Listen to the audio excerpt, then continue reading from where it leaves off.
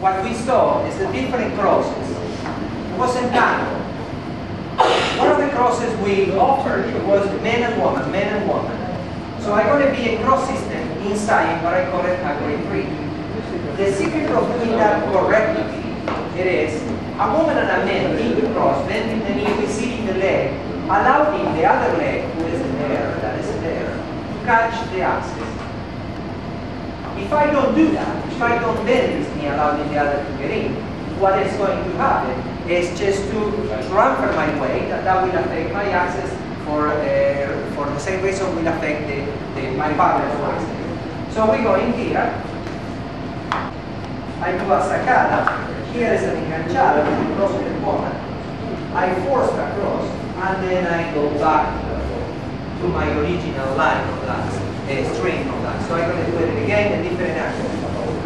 I go in here, I do a sacada, the sacada a la enganchada, a force cross, and I go into my cross system, typical uh, resolution. I'm crossing in the back, sacada, force cross. When I do the sacada, as I always say for the ladies, please lift the tip of the toes, maintain the feet on the floor, and do not do a flying dive away from the shoulder because it's a, it's a compensation law. If my leg goes further, my body compensates. So please leave the heel in the floor. That will give you a nice posture, and then you're going to arrive to the inside part. Like in this case, you see Mary Ann. See, see the, flying forward.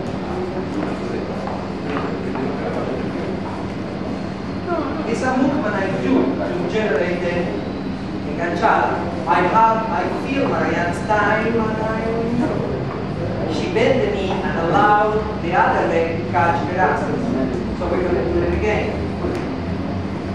See Mary Ann's feet? So I do cross, to the cross, now we have a force cross, now we have a regular cross. The force cross, which I call it the second block, this cross.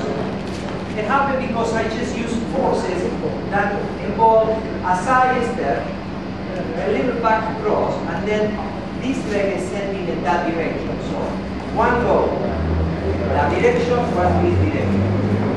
So that will generate the cross.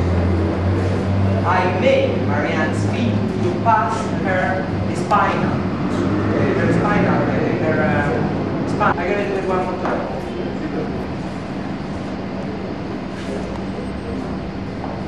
close your eyes and breathe in.